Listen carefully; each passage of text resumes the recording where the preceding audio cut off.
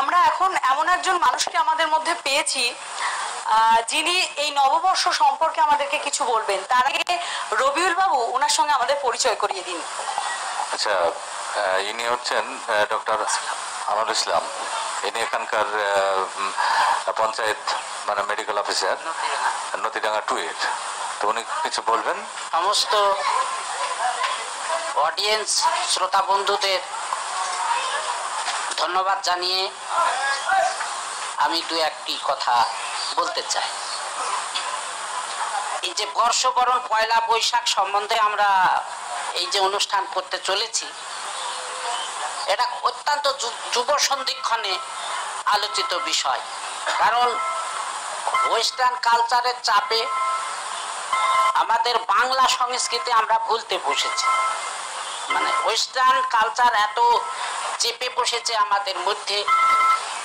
এই মোবাইল যুগ বলুন বা আধুনিক যুগ বলুন মানে আল্ট্রা মডার্ন বলুন যাই বলুন এর ধাপে আমাদের যে চিরকাল বেঁচে থাকা বাংলা সংস্কৃতিকে নিয়ে সেটা আমরা প্রায় ভুলতেই বসেছি।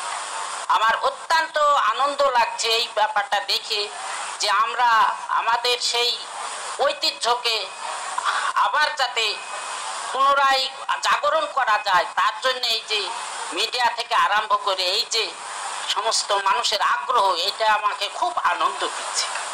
কারণ আমরা জানি, পয়লা জানুয়ারি সম্বন্ধে ইংলিশ ক্যালেন্ডার সম্বন্ধে মানুষ যত উদযাপন পায় পাকস্ট্রিট বোম্বে দিল্লি সারা দেশ জুড়ে যেভাবে ওয়েস্টার্ন কালচারকে পাকস্ট্রিট উদ্বোধন করা হয় ইংলিশ বর্ষকে জানুয়ারি পয়লা জানুয়ারি। পয়লা জানুয়ারি। হ্যাঁ, মানে সেই ডিসেম্বর থেকে শুরু করে জানুয়ারি সারা মাস ধরে সেখানে দেখে একটা মানে এখন আমরা যেটা দেখি হ্যাঁ। থার্টি ফার্স্ট নাইট হ্যাঁ। বারোটা বাজলে নিউ ইয়ার হ্যাঁ, New এইভাবে এইভাবে সেলিব্রেট করা হয়।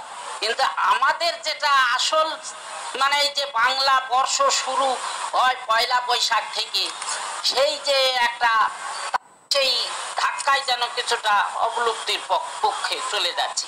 এবং আমরা এর আগে যে এই যে বাংলা থেকে কত বড় বড় গায়ক, কত বড় বড় কবি, কত বড় বড় শিল্পী এখান থেকে উঠেছে এবং তারা আন্তর্জাতিক পর্যায়ে স্বীকৃতিও পেয়েছে।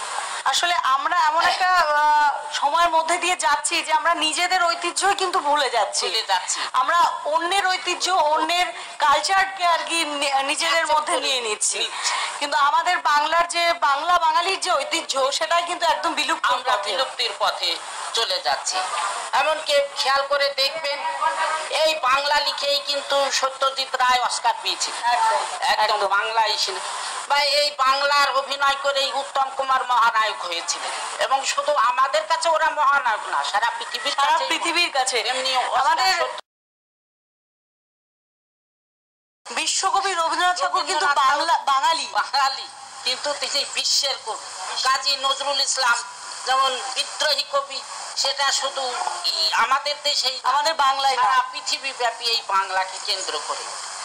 আরও একটা জিনিস লক্ষ্য করছি এই যে আল্ট্রা মডার্ন যুগের গান দুদিন ভালো চলছে তারপরে অবলুপ্তির দিকে বা একটা বই চলে যাচ্ছে কিছুদিন আমরা খুব অ্যাকসেপ্ট করছি তারপরে তারা হারিয়ে যাচ্ছে। কিন্তু বাংলায় যে কৃষ্টিগুলো তারা যে মানে কিংবদন্তিরা এসেছিলেন এবং যে জিনিসগুলো দিয়ে গেছিলেন তারা চিরস্থায়ী হয়ে আছে। তার দ্বিতীয় হচ্ছে না। না মানে সত্যরাজিৎ রায় সেই অপুর সংসার কয়েকদিন আগে আমি পেপারে পড়লাম। সেখানে ইয়েতে স্মরণ করা হয়েছে। আসলে আমরা হয়তো হবে, নতুন কিন্তু এই সত্যজিৎ রায় আর হবে এই অপুর এই সংসার আর হবে। অপুর সংসার তো আমার খুবই ভালো লাগল। এই যে একটা উপস্থাপনা এই যে একটা ইনফ্রাস্ট্রাকচার আপনারা এখানে তৈরি করেছেন যে আমরা আমাদের বাঙালিকে নতুন বর্ষবরণ নতুন বৎস- বৎসরকে ওয়েলকাম সেলিব্রেট করার যে এই যে একটা উদ্যোগ এটাকে আমি খুব অভিনন্দন জানাচ্ছি আপনাকে অসংখ্য ধন্যবাদ। আর আপনি যেটা বলছেন আমরা অন্যের কালচারকে নিজেদের মধ্যে নিয়ে নিচ্ছি, নিজের কালচার ভুলে যাচ্ছি। আমরা ভুলে যাচ্ছি রবীন্দ্রনাথকে, আমরা ভুলে যাচ্ছি নজরুলকে, আমরা ভুলে যাচ্ছি সত্যজিৎ রায়কে।